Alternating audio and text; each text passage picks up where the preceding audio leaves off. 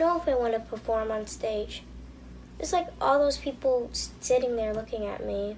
It makes me feel nervous. I don't know if I want to do this.